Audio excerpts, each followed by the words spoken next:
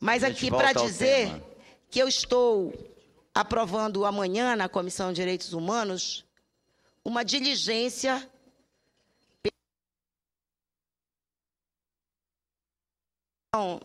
pela Subcomissão dos Direitos da Infância e Adolescência para tentar acompanhar de perto, pelo menos tentar acompanhar, já que as providências tomadas pelas autoridades, em especial, neste caso, pelo governador do estado do Pará, não passam de anúncios nos jornais, como foi o caso da adolescente que foi levada há, menos de um mês para dentro de uma penitenciária no Pará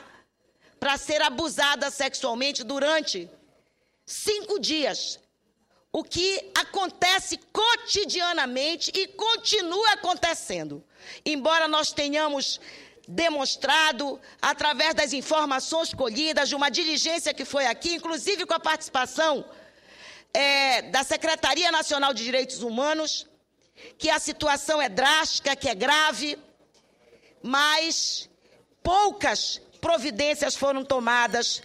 para dar exemplo de punibilidade, inclusive a agentes públicos que deveriam estar garantindo o direito de viver em liberdade com justiça eh, desta população infanto-juvenil. Eu queria, eh, senadora, dar como lido este requerimento que eu não cheguei nem a,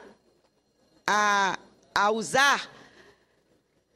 pedindo que ele seja enviado a todas as autoridades, à presidenta da República, à, Secretaria Nacional de Direitos Humanos, ao governador do Estado, ao Ministério Público, às autoridades que tomem vergonha na cara e criem mecanismos nesse país de proteger as crianças e os adolescentes. Chega de barbaridade, chega de crimes absurdos cometidos contra essa